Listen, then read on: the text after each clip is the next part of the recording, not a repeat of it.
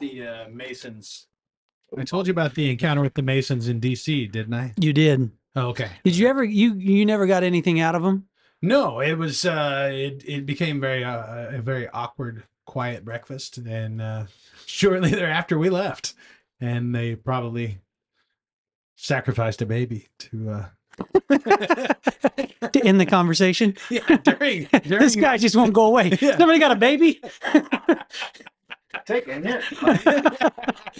oh my God, I'll leave. Jeez. Fair enough. You can have your eggs in privacy. Oh, I'd like to welcome my good friend Kokomo to the podcast. Welcome, Kokomo. Thank you. Glad to be here tonight. It's a little bit of a uh, hodgepodge setup here. I wish we had uh, more microphones. Hey, hey, listen, I, I I'm impressed. But when you said you could come, I was like, just come. I'm not gonna say no. I mean, no, we no, I'm glad we to have be here. we have Glad things we have imminent topics that need to be addressed, and we need an expert witness to address those topics. And eh, you know, as far as you know, a perfect podcast, we just need content. You know, we need to we need to get this out because fire's hot. What do they say? Make hay when the sun is shining. That kind of thing. I don't know. Don't let a good crisis go to waste. Oh, that's a George Soros or a. Uh, that's not George Soros. That's a uh, Obama. What was his? What was it? What was his uh, campaign director? That was that's one of his things he liked to say. Let's just get all political about it right out front. yeah, I mean, no, it's a it's it's a common just, thing. Uh, this is attributes it to Winston Churchill. Don't let a good crisis go to waste. That makes sense. I got a question for the British. W- Oh, I got a question What's for with the, the I got a- I got a question for the world. I had a buddy who came back from Ireland and he was there for a few uh, weeks just recently. How come the British get a pass on everything? You know what I mean? Like, they've been pretty awful to the world for Kinda a like- long time. You talk about like hassling people for being imperialist. That's a yeah. They were like The imperialist. The original, yeah, that's the model. That's it. my point. Is they've, you know, we've we've had our alliances, but they've also been pretty awful to a lot of people, including us. So, are they really our friends? The redcoats? They wouldn't be if they had the upper hand. I think since we kind of like, it's like my little brother. Um, You can you do like that, like Yeah, just right. commit and take my little brother. control. Kokomo knows my little brother. He outweighs me probably by That's funny. You still call him little brother. Well, that's the thing. About a hundred pounds by now, he probably outweighs me. When we got to be like, I was probably eighteen, he was fifteen. I was coming around a corner and I we bumped into each other, just blind corner in the house, and I pushed him because I'm the older brother. That's what you do. Watch where you're going. And I went in my bedroom and I was like, I can't do that. He's he's enormous. and I think that's kind of the dynamic between the U.S. and Britain now. Is the younger brother has outgrown and is like gotten to be like the more the stronger power. But I think if the UK had the the geographic and you know just the dominating prowess, then they'd still be not real kind to us. What do you think, Kokomo? What's your opinion on those damned redcoats? you know, I I'm gonna have to stay out of this one. This is uh, Is this is this because you have political or professional interactions with some British people that you don't want to offend? no, no, I certainly do not have uh, well, at least that I'm aware of, uh, professional interactions with the uh, British people. Um, but I can say what professional interactions I've had. They've always been great to me. So uh, you know, Well, yeah, call me a friend. Of they the need us now. I got I got a conspiracy theory about this. You want to hear my conspiracy theory about it? I think that that that Meghan Markle, I think she's CIA, and I think we sent her across the pond to to to just finish the job. You know what I mean? like infiltrate that family, and then just turn them all into terrible racists, which they are, and just make sure the whole world knows about it. Well, she I mean, infiltrated she's their done- brains out. She's done nothing but like make them. you get you get my point though. Like she's definitely acted in our interest as far as breaking up the royal family. Gosh, if I were going to be compromised, You got you got to you got to do Oh, this. Sorry. I don't need my wife to hear me say that, so it's fine.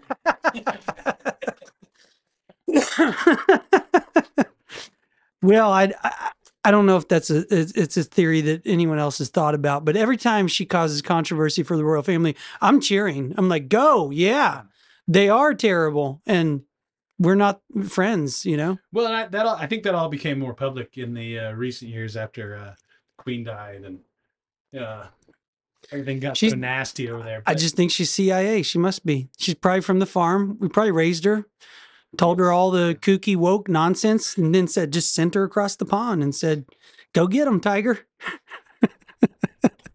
all right. Well, welcome to the uh, Conspiracy Dad podcast. We're so glad everyone could join us. My name is Dante. This is my good friend, Dave. and we're joined today by our good friend Kokomo.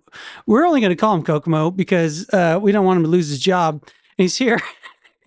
he's he's here as a consultant for this uh, kind of improv episode where we're doing an update on the uh, latest UFO. So weird to even say this. Okay, this is not. It sounds like it sounds kooky. Let's all like take our minds back about seven or eight years, and I say this same thing, and it sounds bananas. If I say the congressional UFO hearing that happened a couple of weeks ago. Now, if you go back like seven or eight years and you heard that, you would go, "That's sounds this is a fictional. This is sci-fi, right? We're talking like nut nut yeah, job? well, just the fact that like I was listening in, and then at some point I forget who it was. It might have been, uh, I forget which one it was. One of the guys behind the podium, but he says, "Well, we want to thank uh, you know credible sources like uh, Mr. Corbell and Mr. Knapp for being here." And I was Mhm. like, "What the heck are those guys doing here?"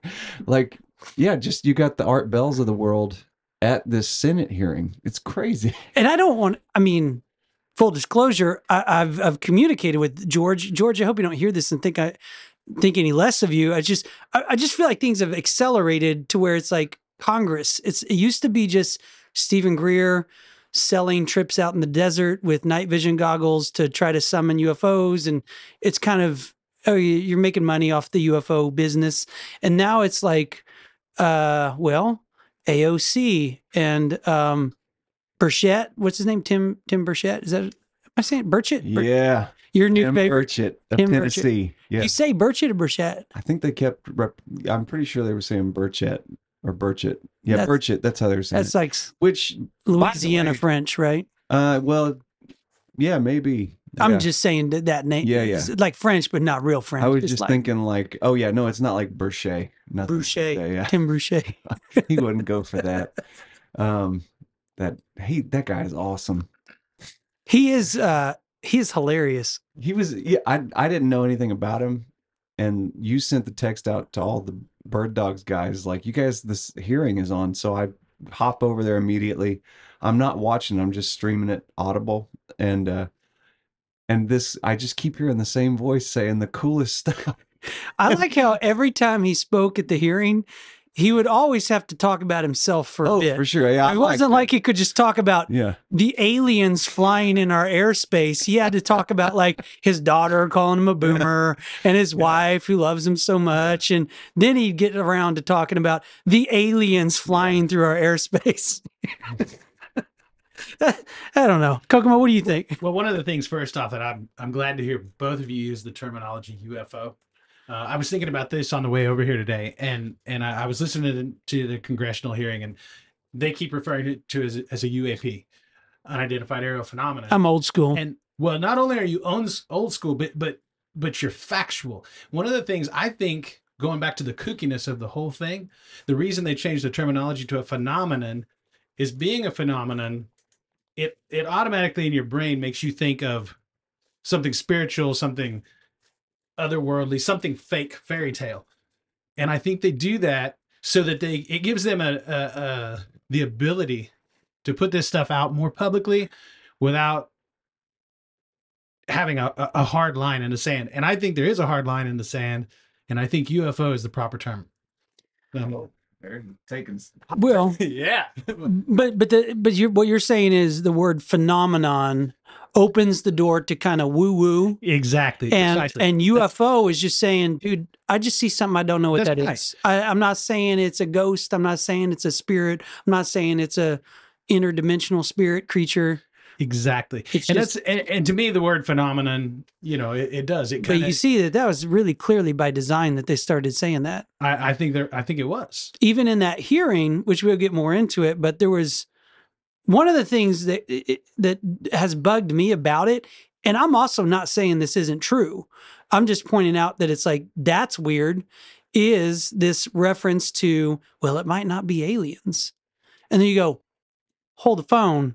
What do you? T-? And they're all subtly implying that it's demons, it's aliens, or it's angels, it's interdimensional creatures you know things coming in and out of other dimensions. And it's like dude we haven't even established that there's other dimensions. So you know what i mean? It's like it immediately goes to this weird uh like you said like it's not just oh i just saw something flying. Now it's like well there's more than one dimension. And sometimes they travel it's like that's a big leap. That's not a we just saw something in the sky. That's things are coming from other dimensions they're demons Now, did they're they actually angels. use that? Uh, and maybe I missed that part. I didn't get that far into it. Did they actually use that? Uh, I don't they- think they did in the hearing, but they might have hinted at it. But definitely Grush, he has said that. So like when he wants, when people have asked him, say, was this aliens?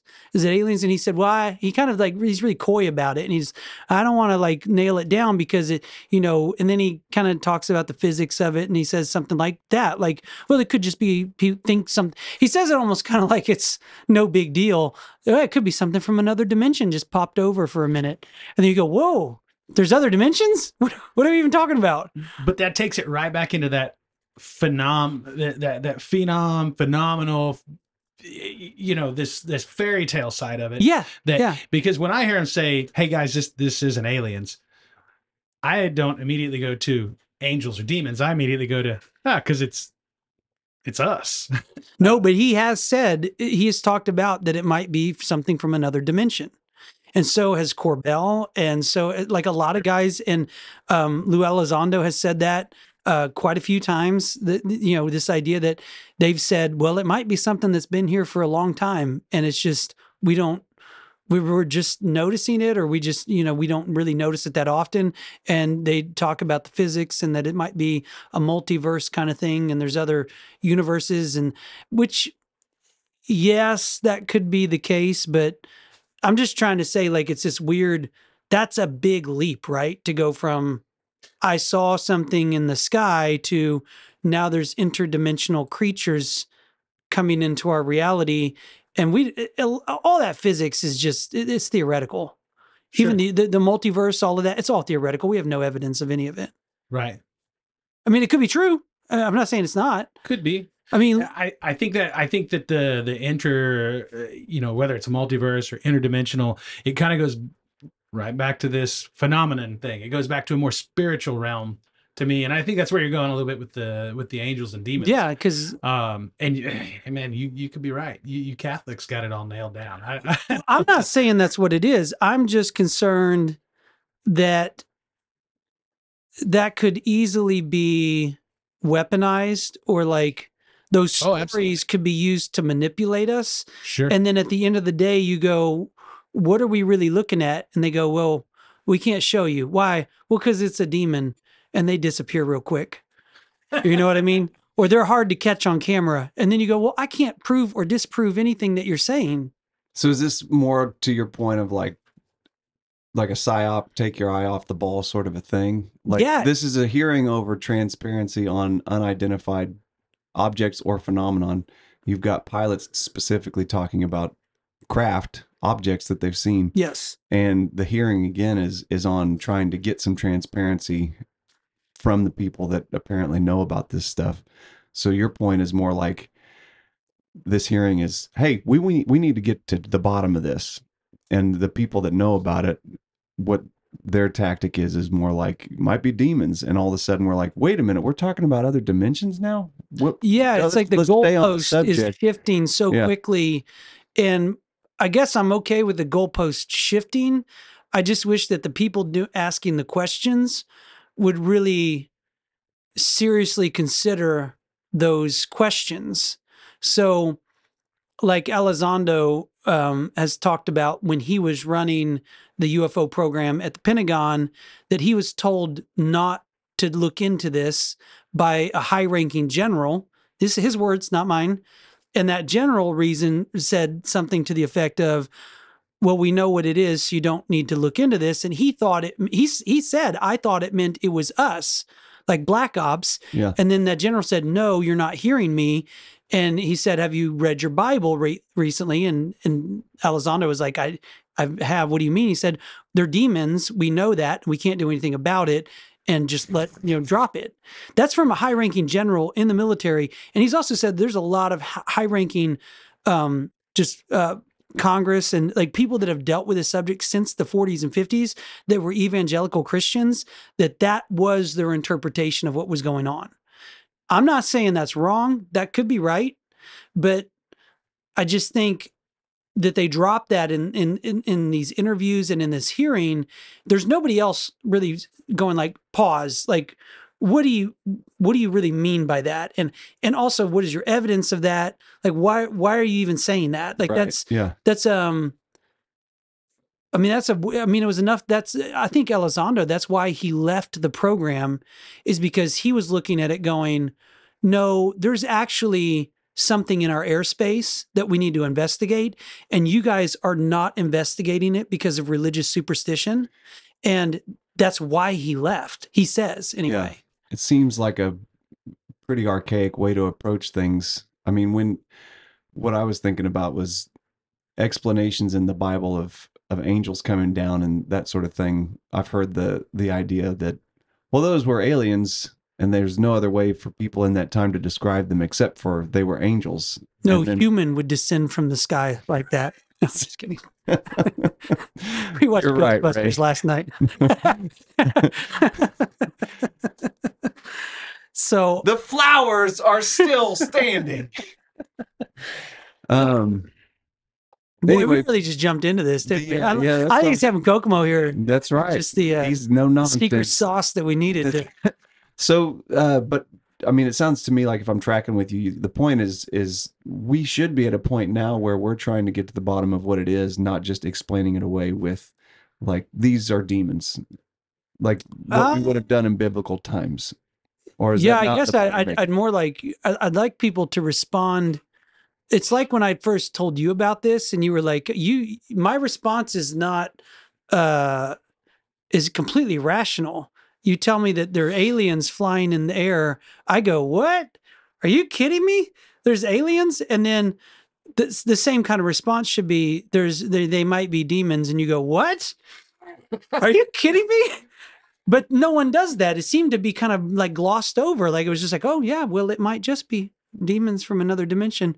And you go, well, I, I just I, I I feel like Elon Musk should weigh in on this. I feel like there's some people that know more than us that should kind of come forward and say something, but they haven't. And so I don't know why.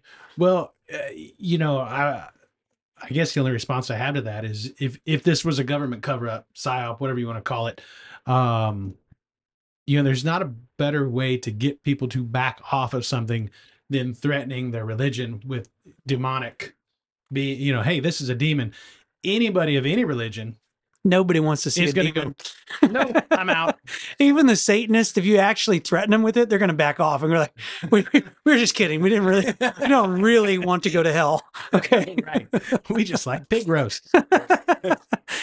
uh, we just like putting on goat heads, running around in the woods, you know, things that go. I, I don't know why I know what they do. um, so since I kind of jumped in there, let's let's let's bring it back in, Dave. Okay, I was gonna say I thought you were just gonna go with it. No, let's keep rolling, but let's give some context. So I, I kind of teed up that there was a hearing, and that Yeah. that could strike some people as odd. If you if this is odd to you that there was a UFO hearing, um, go do some research and then come back and watch this. But a lot has happened since 2016, and now we've gotten to this place where we have this UFO hearing, and there are at this hearing there were three main whistleblowers. I don't even know if they meet the criteria of whistleblower. They've been calling them that, but they're people who they're at least like very reliable military and government officials that are coming forward and claiming I would argue like various things because like what Yeah. Grush is claiming is not the same as what Fravor is claiming, and what Fravor is claiming is not. What, what was the third one? I even remember. Graves. Graves. Yeah. So Yeah. yeah, what what it's a perfect balance, which means it's a psyop.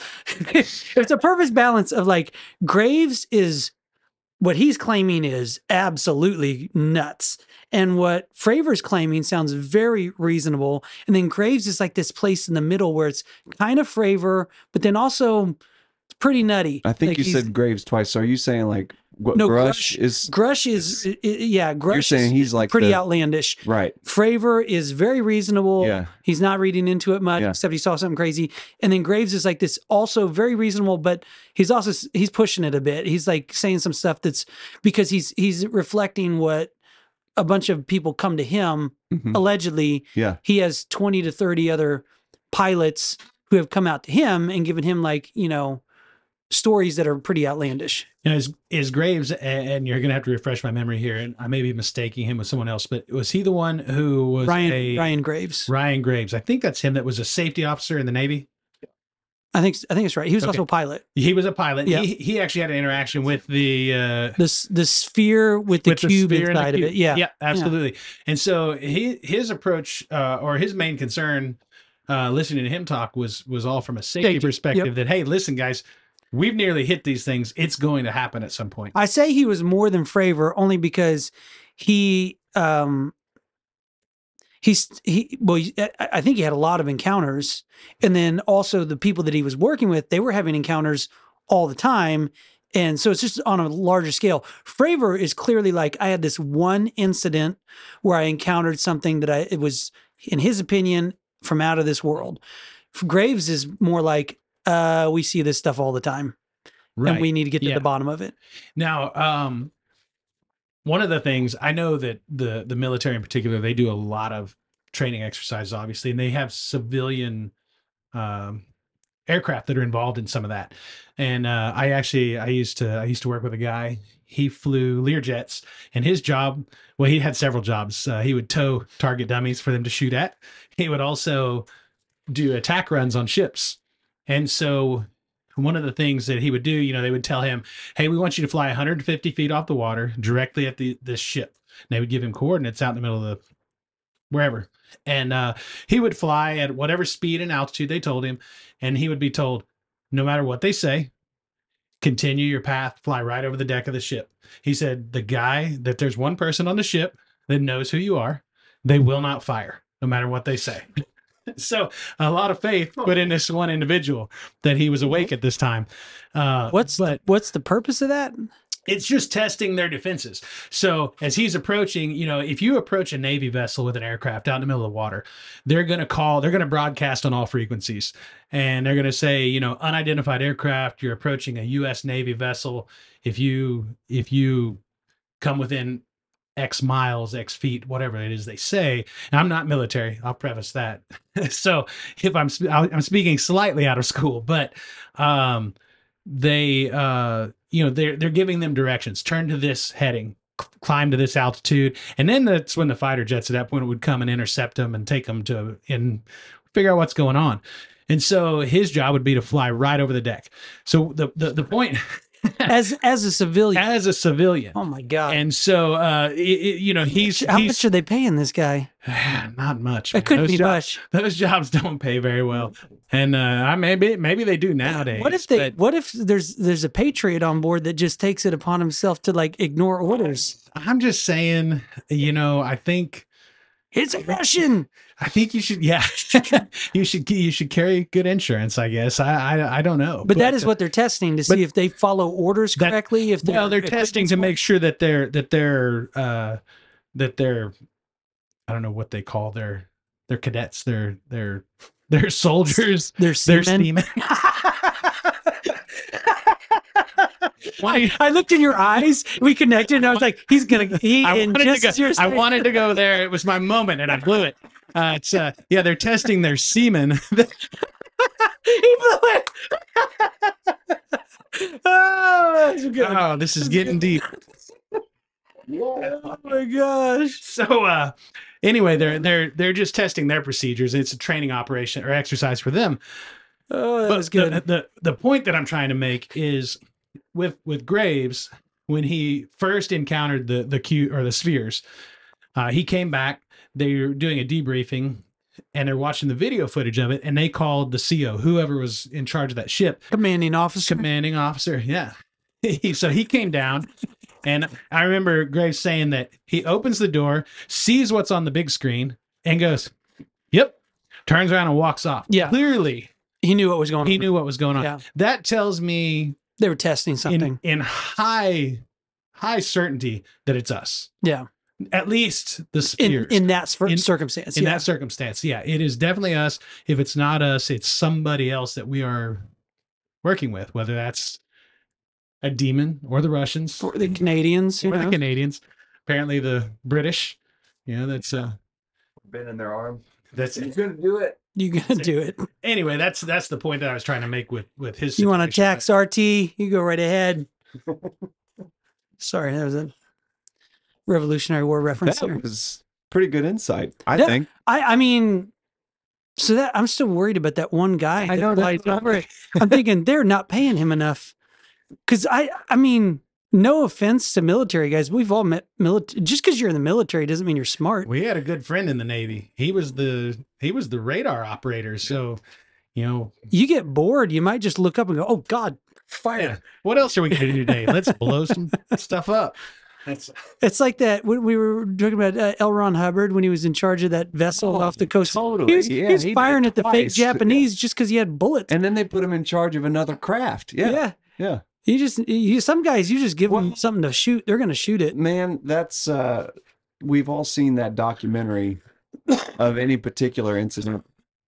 And there's the whether it's the yeah, the regular crewman, the soldier, the police officer that's like, I had an opening, I took the shot, and that's where they took the main bad guy out. You know, like I've been watching things with like uh, the the Boston Marathon bombing or like OKC bombing, different things like that, or the uh, the Waco I thought you say Rambo, but yeah, it'd be pretty sweet. Um, but with the Waco incident, like, you know, one of the main interviews is the guys, the first guy to breach in there. And so usually those guys are kind of pitted as like, you know, you got to pull the trigger when the moment presents itself. So I'm with you that, I mean, if you win, if you signed up to be on an aircraft carrier, be a soldier or something, if you're signed, if you get put in the position to be a gunman, yes, you are there to be complicit with all the orders and follow the chain of command, but there's a little bit of you that's like really you just want to watch shoot a big you watched big Rambo missile. Uh, and Yeah. you're ready to be like, well, I mean, if nobody else is going to take this enemy craft out, then I guess I'll have to do it. I'll be your Huckleberry. You know? Yeah. So yeah, you're And right. there's This- nothing wrong with that. Yeah, that's the American spirit. By God, That's why they gave us GI Joes when we were kids. that's what Tim Burchett would do. Yeah. Yeah. Well, let's circle back to the uh, the hearing. Um, I know that you had uh, an article you pulled up with. Was it five kind of yeah. main, Um, main takeaways? I thought this was helpful because, as you mentioned, we had three three uh, witnesses at the hearing, and if anybody that follows UFOs, UAPs, listens to Jeremy Corbell or Joe Rogan or anything like that, you've likely or heard George George Knapp. or George Knapp, your oh, buddy. That's right. OG. I George love you, George. I don't mean I, I don't know if what I said was like, oh, don't listen. would- I feel like he has a place at the table. I just wish that there's more conversation between him and these congressional people, and like, if it's a thing, take it seriously. If it's not a thing, don't take it seriously. But apparently, it's a thing. So uh, I, I, I wish there was more dialogue. I wish there was more. I listened to a lot of that weaponized podcast in the last couple of days because I wasn't following that podcast in the last few weeks, but they had been kind of given a lead up to it Mhm. for, you know, I mean, they had a long form interview with Tim Burchett, which I really Yeah. enjoyed. But uh anyway, I think from the some of the comments I heard George Knapp make, he he's surprised that he's being brought into this as a credible source Yeah, because I, he's kind I saw him tweet like if I had to sit there for one more minute, I, my ass would have been numb or something like that. Like was I like, think he's used to people poking fun at him and him being on the fringe, and he's you know kind of gotten used to being in that role. And he's like, "See, guys, I told you," but he's also aware that the public at large sees him as a, a fringe character. So even though his reporting has always been he's given voice to people with fringe ideas yeah, but he does it in a very professional way and that he's he's very clear about this is just because Bob Lazar has a story he's like I'm not I'm just giving Bob's just story with a platform. I'm not saying I'm not reading into it. I'm not I'm not telling you to believe his Right. story. I'm just telling you his story. Yeah. You know. Um, so anyway, if you follow anything like that, the three characters that we just spoke of are the three people. They're not characters, but uh, they are kind of characters if you're looking at this as a narrative. They're characters now. yeah, It might well, not have been before, but they're definitely characters now. Um, they didn't disclose anything new in that hearing that you wouldn't have heard on, say, a Joe Rogan type. or interview. mainly on the David Grusch's uh, News like Nation. yeah, News Nation. Yeah, Because a lot of times he was even like they'd ask him a question, he'd go, Well, just go back and look Yeah, at what I said at right. News Nation. That's what I meant. seemed like the objective was to get all of that just down on public record. Yes. Under under, you know, uh what do they call it when you go to jail if you lie? Um, Oh, under oath, yeah. yeah, under oath, under perjury. Right. Yeah. Yeah. Um, so I, I pulled up, I came across an NBC News article that was uh, the five most memorable moments. And what I thought was helpful for that, since like you've kind of gotten me to where my head's like deeper into this than it normally would be, is like these five points are what people that go about their daily lives. That makes me so proud to hear you say that. this is what normal people are taking away from this. Okay, well, let's hear it. So, uh, point number one, the quote is the government is absolutely in possession of UAPs. And that's just calling out the fact that David Grusch is alleging that the government is in possession of the craft. And so, um, whatever you'd like to say about any of this stuff, I mean, I can read the you know, That is article that piece, is the three of those um, one of gentlemen. main That points. was the main thing they're Yeah. saying is uh, UFOs are a thing right. Yeah. and that we have them. Yeah. And so, and Grusch is the one, you're right. Like Fravor is a pilot, Graves is a pilot. They're both saying, I've engaged with objects or craft, but none of them have said, I've seen one, I've touched one, other than I've engaged it in my plane. Um, Grusch is the one that's like, well, I've never touched one, but I know a guy who says he did. Well, and he did say that he's referred all of that those testimonies Right. to the inspector general. So Um, he's he's which being 100 100% fair probably follows the pro- Yeah. proper chain of protocol to say you come across that you don't just go to to the public Right. you do probably refer them to the inspector general and you then when the proper time comes because it would be top secret i mean I've been pretty you would think cavalier about Grusch in the past, and still, I think like if I like I I made in my notes we should start a drinking game for every time that he would say "Uh, I can't disclose that in an open Yeah. environment. Um, but I will say he sounded extremely. since you said it, i'm just going to drink Good. There you go. um, he sounded really knowledgeable about statutes of different chapters of process and procedure in terms of what can be disclosed at different times. So um, I do understand, like George Knapp, one of the comments I heard him make in the last couple days was like, when you what you tell your friends, you're also telling your enemies. So to Yeah. your point, like yeah we can't disclose all of these things because Well, that's what I mean by Yeah. you wouldn't you wouldn't just say yeah there's a process to where you you know in in his own interest he doesn't want to go to prison um but also in the you know as an intelligence worker he's got people he has to report to and process he has to follow so i can appreciate that but he says that yeah there is craft he's talked to people and if you want to chime in, you just grab that mic from him. You don't need to ask permission. He'll he'll have to. Just, no, I, the only thing, if I was going to add anything to it, and because I, like you, am very frustrated with his, ah, I can't tell you. Yeah. But I, I do find that more, or fairly often at least, he he does offer to, uh, what do they call it? When they sign a SCIF, when they have a off the record. I got an moment. opinion about the SCIF. So I, I would love to hear the, the opinion about the SCIF. Well, it might just be nothing, but one of the things I, I've watched that Joe Rogan, this is one of the most frustrating things about this. As somebody who owns stock in TTSA, as somebody who's like followed this for a long time, um, one of the things about that Joe Rogan podcast with Tom DeLonge, a particular moment in that podcast, it seemed like Tom DeLonge really went out of his way to explain to Joe Rogan what a SCIF was. I don't know if you recall that, but I remember it kind of sticking out because it was almost like he wanted to talk about it. He's like, he even said, uh, "I've been, I haven't been pulled into a SCIF." And then he's like, "You know what a SCIF is?" He's like, and, and they had a whole thing where he's like, "Let me explain to you what a SCIF is." And then at this, it felt very similar, like a SCIF and a SCIF, and it's like now everybody's talking about a SCIF, and you're like, "Why are we, why are we bringing up this word?" I, I, I don't know what to make of it, except it's like, to me, I just uh, linguistically, I'm pulling out like when people start pointing out odd things that uh, I don't know why my mind like latches onto it. And like they're mentioning that word a lot. Why? I I don't know why. I think probably on a regular human level, it's a matter of all of those people are aware there are a lot of cameras on them and they're having to think quickly and articulate things quickly. And you tend to lean like there there get to be these crutch phrases and that SCIF happens. My to be- concern would be that that that crutch phrase is, is a talking point Oh, for given sure. to them by an gotten to agency to say, Okay, yeah. talk about if they ask about this, just say it needs to be talked about in the skit. You're talking about you know what I mean? uh, you're talking about Tom DeLonge to Rogan. It's like it made me think. well, he's like educating you ever on. been to a toga party? yeah, Let me explain what that is. Like all the cool guys invite you to this party, but only the cool people go to it, and you wear the. Well, I mean, it's a toga party. I've but never you heard of a wouldn't toga understand. before, but now I get it. Yeah. Um, now it's part of my language. I, I do feel like though with Grusch, he more than any of the UFO guys that that we see frequently anyway, or the the more uh, famous ones, he seems more of the government plant type to me.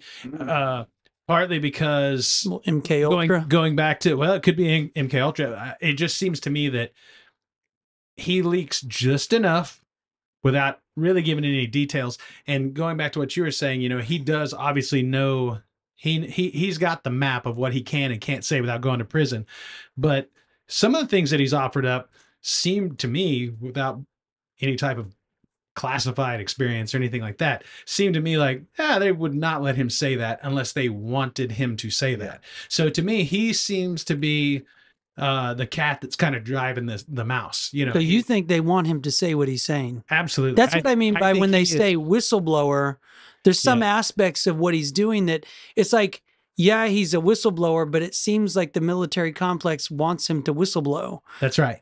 I I don't. I- I I don't see him as a voluntary. Which hey that- guys, I saw that, that could that could be an element of disclosure. I mean, if you're like, we have to disclose this, you, you kind of have to do it in an organic way or like a, and it, it- the military being, or the federal government being so good at what they do, their organic way is kind of like, uh, what's that one skit where, uh, w- I forget what comedian it was. It was, it was Steve Buscemi when he's acting like one of the teenagers. Oh. You know what I mean? No, but uh, yeah, I was just hey, youth. Hey, exactly. Yeah, it sounds like something you'd see in an Arrested Development sketch or something like that. Yeah, like, hey, yeah, exactly. Hey, youth, or let's um, hey, I tell you what we'll do. Let's put Grusch on it. That guy's totally natural and likable. Yeah. yeah, th- they'll eat him up. They'll love him. And I've heard again. I mean, I I don't care for his demeanor, but I just am. I heard more than one person say they got like uh, Corbell was getting texts from his friends like, "What a jackass," you know. and I've I've really actually warmed to him in the last couple days with the idea in mind of like if he's not just a government plant, if he really is a guy trying to do the right thing, he might just be a guy that's Well, like he'd have to be. I Yeah. think. I, I I do think that, like, say he is a useful idiot. Like he'd have to be. Like I think the same thing with Fravor and all these guys. If it's a massive psyop, I don't think it's possible to train them to say every line. I think you would have to orchestrate something to where these people honestly believe what they're saying. yeah, yeah, that could And you're never going to hear from the, the men in black who are like making sure it all happens. Right. Yeah. You know, it, it, going back to the whole term whistleblower, I mean, eh, none of us have probably ever been in that situation, and and hopefully none of us ever are. I hope that I am. No. but Why the hell but- do you think we're doing but, this? but hey, man, if you're going to be a whistleblower, you, you're gonna you're gonna you're gonna take it down. You hit, what better opportunity do you have uh, do you have than sitting in front of a congressional hearing yeah. to say, guys, all right, I'm gonna go to prison and disappear. I'll be Clintoned by the end of the week, but here's the here's the deal. We'd like to say Vince Fostered, but Vince Fostered. Okay, that's a uh, you don't want to get on the hit list. I understand, but uh, yeah, I mean, if you're gonna if you come on, Pookie, let's burn this mother down. You know, it just Okay, let's Uh, number let's two, do like yeah, Hillary and let's keep it- power through the rest of these. Okay. well, the number two is that non-human biologics were found at the site. So this is another uh, allegation from from Grusch. Um, so, like we heard on the News Nation interview, but at least here he's on record saying that he has been told Biologics. we have biologics, which I've never heard I don't anyone remember if refer they to made a the- body as a biologic. yeah, um, To that government. yeah, Grusch is, Government. Yeah, Grusch's comment, at least in the interview with News Nation, was you know when there's a plane crash, you're going to have pilots, and so to be blunt, we're talking about Kind of like alien the bodies. inter- interdimensional creature comment. You would think that'd make people go, "What totally. the hell Yeah. are you talking about? Like, really? But they don't. They didn't really like freak out. They're kinda like, oh, well, that's Well, this interesting. is, yeah, I mean, here, dig this into is, that. this is point number two in the NBC story, which to me, this is like, That should be point the number one, leading yeah. bullet point. Yeah. So, um, I don't want to jump on to the next thing too quick since we're talking about what a big deal it is, but if you, if you, People are not responding to this information in the way that a normal, rational person would respond. That's my problem with it. You know what I mean? like it's like because it's like it's like a joke and then it's like what they're saying is the most outlandish like mind-blowing thing you could imagine and everyone's response is kind of like huh it's really bizarre that like like years ago you said they put this in the New York Times. Nobody seems to care. And now I'm kind of at the same point with this hearing where I'm watching I'm like this is like regular news and actual grown-ups in suits talking about this guys. Nobody seems to and like uh you know uh, I think George Knapp was talking about he got on all of his regular news sites the next day, kind of regular terrestrial news. Uh-huh. The hearing didn't even come up. like really yeah, it just wasn't in the Oh my headlines. God. You know, I follow this uh, stuff. I mean, not to the degree that you do, but had you not sent me that text that morning, I would have had no idea. Yeah. I mean, this wasn't. This was not headline news by any means. god that's that's your sign There's something going on that's all i mean something's going on Yeah, we're like just being when humans are not acting like humans when Yeah. humans are acting they're being manipulated pacified. they're somehow, yeah. being uh you know there's something going on and i don't i don't know what it is except god yeah if i go back 10 years ago and you said this stuff people would lose their minds they would freak out anyway number three Number three is officials must establish a safe and transparent reporting process. This is uh, kind of the big bullet point from Ryan Graves, which I think, I mean, he just struck me as a guy that is really just concerned for his his brothers up in the air. Like, hey, we're driving around up there. There should be a way for us to say there's other stuff up here. Let's not run into it. yeah um and at least somebody in charge could like pull him aside and go we actually pay a guy that kokomo knows to fly around. Something would be helpful. Um so yeah it says here some lawmakers and witnesses pushed the federal government to establish clear channels to communicate uap information with both the public and the military uh, and said that the military should establish a comprehensive reporting process for unidentified now i know you're not military but do you have any sort of protocol as a as a highly decorated uh civilian pilot or, or commercial pilot? When you see a ufo what are you supposed to do? Well, um, historically speaking, uh, you did nothing because uh, Wait, wait, wait, but but, but I'm wondering, has any of has this conversation ever happened from your employer? Like, Oh, absolutely not. No. they've they've never even talked about the idea of UFOs. Has there been any official like, if you see something you can't identify, what do you do? Um, so, uh, to my understanding, um, I've never actually filled one out, but uh, there, there at least at one time was an official FAA document that you would use to report a UFO. And Going all the way back to like the beginning of pilot school, or man, I, I'm honestly, I, I couldn't tell you. Um, but when Dave's, you, when you but when you recently got hired, when they're like training you to work with the company, there's no conversation about like UFOs. no, of course not. Uh, Wait, wait, wait, now, no, that of course said- not, because we just had a, a hearing in front of Congress. There should be no, of course that- not. okay, that's The- fair. The, the, but- the comment should be like, yeah, there should have been. They, well, yeah, If- maybe there should have been. Uh, you know, they. Uh, uh, no, we didn't cover that. And and now that you ask, I actually we have a uh, we have an event reporting system that covers dozens and dozens of things that may take place. Every conceivable.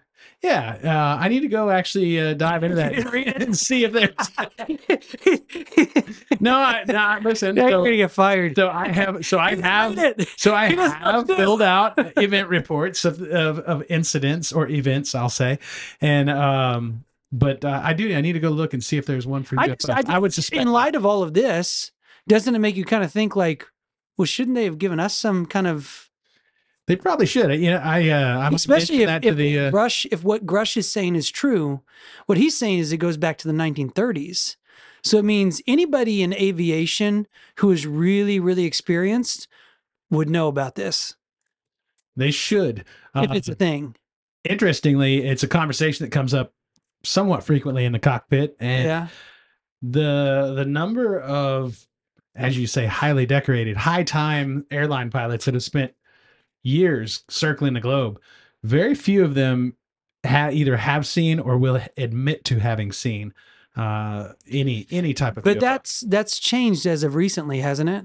um you Just know anecdotally in your own experience, haven't you like noticed maybe more maybe it's me like asking you to ask them? well now the, the conversation with me personally it does come up more frequently than i ever would have imagined um thanks to you guys in this podcast but uh you know uh, anecdotally speaking i would say it's it's probably no different because i can't speak to i can't attest to what the numbers were prior to me asking these questions. But i think that the majority of these guys that i'm flying with i'm a first officer so i'm sitting in i'm the co-pilot. So the captain's the guy with all the time and experience. Those are the guys that, that you would expect have seen something. Um those those guys also come from the day and age where uh y- you know see something sweep it under the rug you know they did they everything rode on that and if they start walking around saying Most hey that's because of like your psych evals and stuff. Like if you fail a medical, you're gonna lose everything. um yeah absolutely i mean you, we don't do a psych eval uh, unless it's faa mandated Oh, you That don't do a psyche said- valve and you're a pilot. that being said You're uh, making me very uncomfortable, even more uncomfortable. yeah, I don't, So yeah. you could be psychologically unstable and a pilot. you you can be uh, Wow. however if you if you How- make however, if you make this UFO report that I think Dave's getting ready to uh, present us with, they might consider you psychologically unstable, in which case you could be uh, let's hear it, Dave. mandated. I did a quick goog. Give it a goog, JMO. Um, FAA.gov, there's a section 8 unified flying object, how to report one. It doesn't give you a link, but it does say in section A to uh, report to a phenomenon reporting data collection center, such as the National UFO Reporting Center. So I went to that, and it's, you know, like a kooky UFO looking site, which to me is just like, well, this just adds to the stigma that Ryan Graves Yeah, like no one's gonna, you're not going to report to that. If I'm if I'm a legitimate pilot and I go to the FAA.gov site and I track down this page and it says what you got to do, you're not is- going to go to FAA though. You're just going to go to your employer, Well, your but I'm boss, and be saying, like, like- "Dude, I saw something weird." yeah. But if your boss blows it off and you think I'm serious, I really Okay. should report this. If you're a Ryan Graves type, then you go to the site that it tells you to go to. You're like, I'm not trying to be on unsolved mysteries. I actually saw like a real thing. Which is just wanna- actually what MUFON does is they've they they've they've actually had a lot of trouble with selling a lot of the stories to things like unsolved mysteries and then like weird lawsuits back and forth. Well, and and actually counter to what you were just saying, as far as going to your employer or your boss, that is actually much less less likely to happen than going to the FAA. Uh, the reason being is is anytime there's some sort of incident, is what we call it in our world. Um, where there's been a, a phenomenon where there's been a possible collision or you you messed up and we're at the wrong altitude there's a number of things that could lead to this stuff we actually fill out there's there's two different forms one is called a nasa report one is called an asap Wait, it's Um, called a NASA, a NASA report. It's the National Aerospace. not uh, NASA. not NASA, as far as I am uh, aware. Uh, but it uh, it allows you to it, it allows so, so the whole goal for the FAA is to make things safer, and so well Allegedly. allegedly, um, and so they they learned long ago that if they if they may if you were penalized for reporting things that happened, nobody's ever going to know about it and be able to fix that, yeah, prevent it from yeah, happening makes again. sense. So it gives us an avenue to report, hey, I screwed up. So are you supposed would you like be inclined to go to FAA over employer? Um, so, um, so the ASAP report, it's actually something in conjunction with the FAA and my employer. They both get Oh, the they report. both know about it. Uh, a NASA report is something that goes just to the government, and uh, a NASA. the NASA report. And um, so anyway, so no, I don't, I, I don't know that uh, you know in in the uh, in the airline union world, we avoid talking to the bosses as much as possible. So uh, That's maybe That's- part of the problem there. it could be, it could be, but uh, that that just doesn't go well for a lot of So people. what's that last point? Were we on four? Or is there two more? There's one more. We're more? on three. Yeah, four is a lot of what we just discussed, just the stigma associated with sightings, silence, possible witnesses. So um, we really kind of we've gone over that, but that was one of the points that this NBC article hit. Okay, and that that last better be a good one. Uh, number five, UFO spotted accelerating to supersonic speeds. So this is more uh, just touching on David Fravor's account, which another podcast I really enjoy is uh, Necronomipod. I've referenced it here before, but they did a sort of a debrief, and uh, one of the guys on there was like, "Man, I really love that Fravor was so matter of fact." And then he says they were at eighty thousand feet, and then he kind of goes, "By the way, that's space." So it came down from space to like right above the water. It's nuts. yeah. So nuts. The thing I'd never heard or maybe just never paid much attention to is when Graves was talking about um, these craft just sitting still in hurricane winds. Mhm. He's like, that would be like throwing a bobber into a river and the bobber Not- just doesn't sitting there yeah. against the flow of the river. So um anyway, this is just the fifth point is saying uh it's just kind of giving a summary of what Well, Fravors I, I think that the, the the takeaway from the hearing that I've heard other people talk about is that this is kind of officially getting the ball rolling as far as Yeah. people with these claims, uh, people with these experiences. The government is allegedly going to start taking it seriously, as if they haven't been since 1930s. Um, which, if what Grusch is saying is true, they've been taking it very seriously since the 1930s, um, but maybe not. So it'll be interesting to see what happens. I, I mean, a lot of what I've heard is like, well, in the next year, you're going to see a lot. Like they're they've been briefed, they've been told after this hearing, probably Br- Burchett and uh, all the other and AOC got into a SCIF, and they were then shown the pictures, uh, shown the uh, high definition footage. I, I don't know. I mean that that's what should be happening next, and we might see some stuff coming down the pike that's like, holy cow! I don't I don't suspect that we will. I think it'll be the exact same thing we've always seen.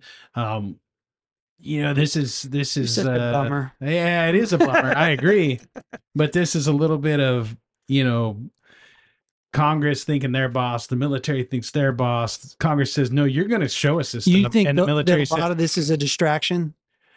Um, no, I don't think it's a distraction. I just don't think they're going. You know, uh, it's it's too many too many chiefs, and Mhm. and everybody's everybody is gonna hold on to their.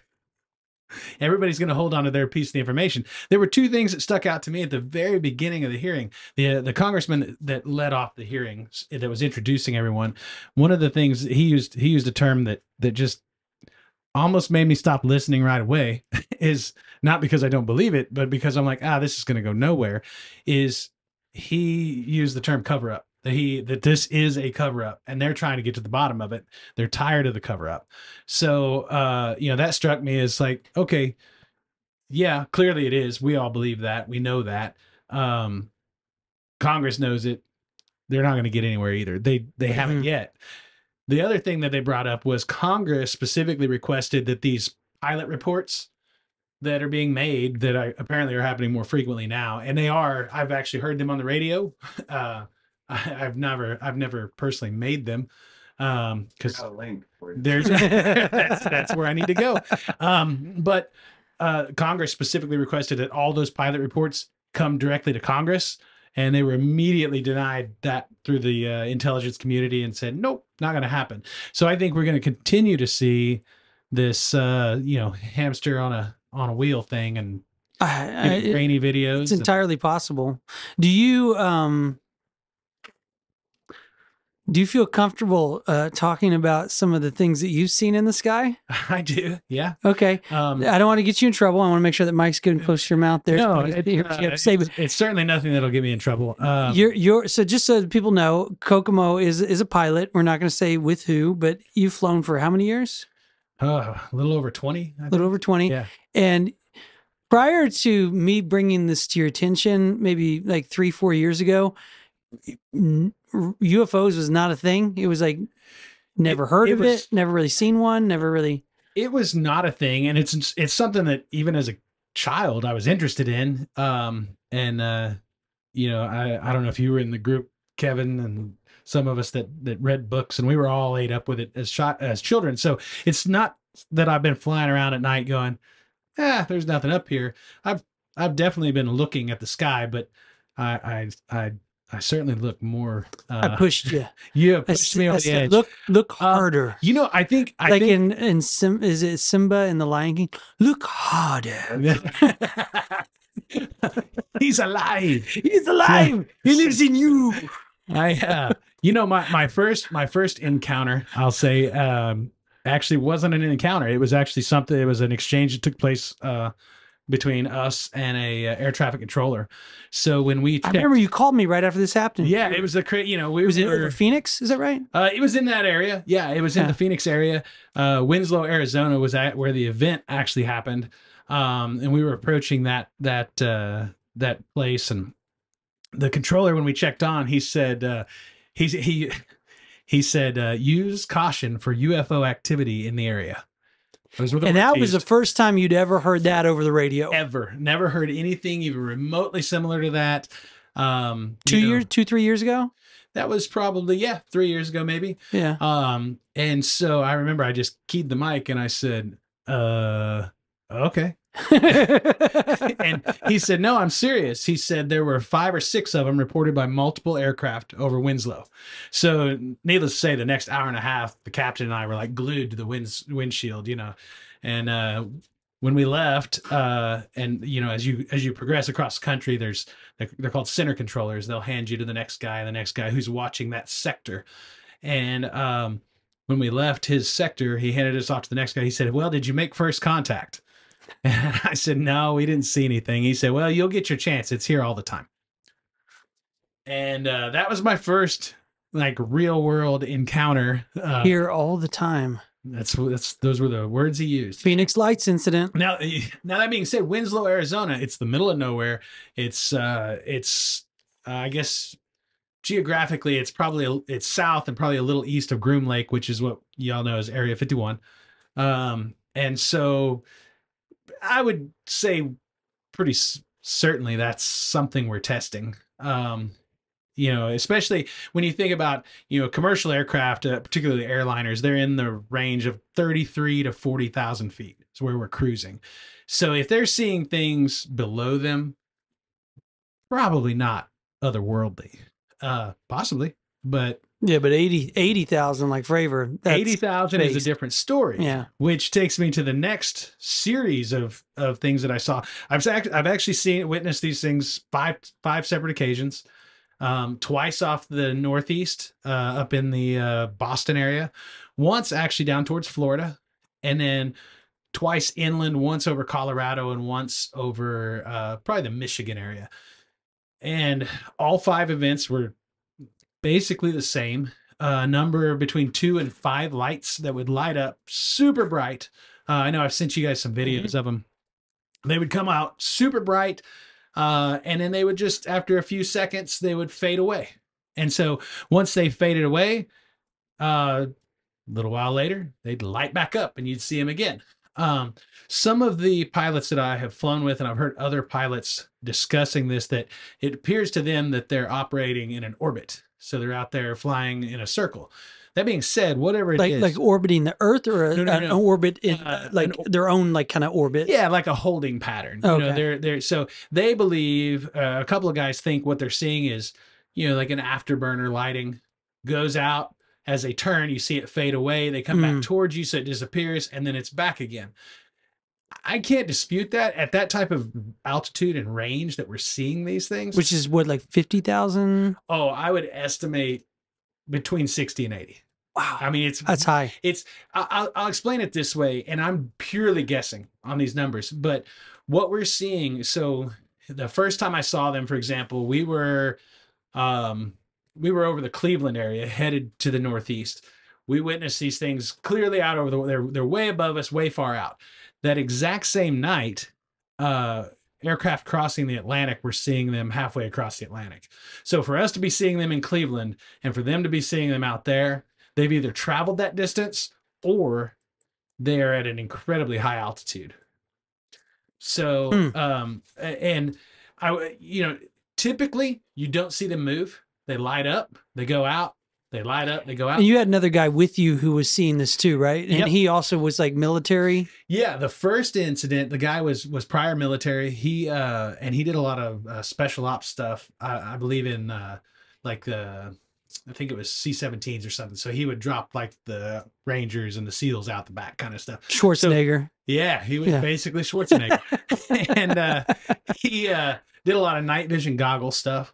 You know, so you obviously stars, satellites, things like that. They show up. He's really seen a lot. he's seen a lot Yeah. and i uh, the first when i first pointed him out i said I, you know i'd seen him like three or four times i said i said man are you seeing this and he said he said oh yeah those are military flares and i'm like oh okay that's cool makes sense whatever and uh now he's kind of glued to him and 20 minutes go by and they flash three or four more times and he goes man those are not flares he said i've seen he, he told me he said in my in my military career i've seen a lot of things I've never seen anything that I can't explain. He said, I have no idea what this is. He said, it's way above us, it's way far out. He's like, man, we don't have anything that flies that high. that he knows of. that he Yeah. knows of. Exactly. Um, and so um, every time that I've seen them, the other pilot has has also witnessed them with me. Um, you know, some guys serve military uh pass, some guys are civilian pass. They all have different takes on it. It always starts interesting discussions. Um, but what I found recently, I've flown with more than one individual who has said, Hey man, have you seen these lights out off the northeast? Like, well, as a matter Yeah. of fact, I have. Yeah. It's uh, you know, and so the the the the the stigma, I guess, or the discussion is starting to be more open.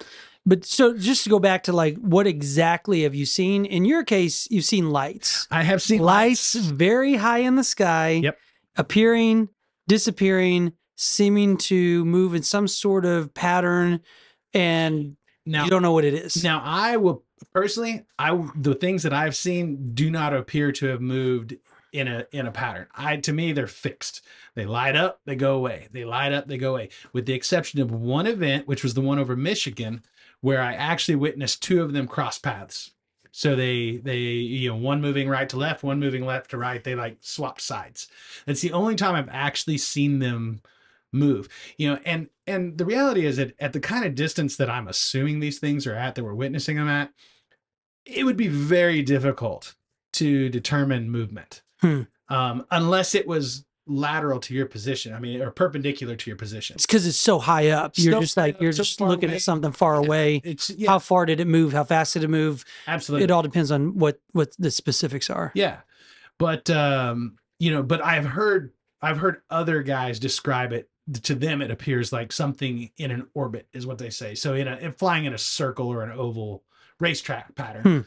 Um which you know is not a even even with myself not being able to see that um it's not unfathomable. Well, if you're looking for to- tasty humans to eat, that's the way you want to do it. You know, just circle around like a hawk, and then you see one down, you just go down and get them. that, that- I mean, it's, yeah, it's would be- nothing according to Fravor. Eighty thousand to fifty feet is nothing to them. It's less than a second. So uh, they just circle till they see a tasty human, and then they just.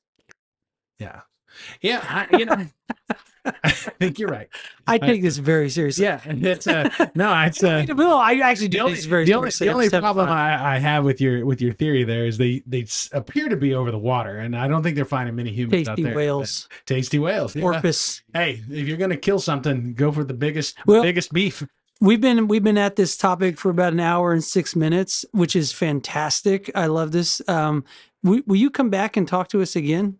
Absolutely, I'd love to be on So, anytime. Anytime I'm around. Before you go, though, I want your opinion because I want to get you on record in case I can get you fired. in case I get fired, at least in, It Yeah. seems to me like these things are like one of three things.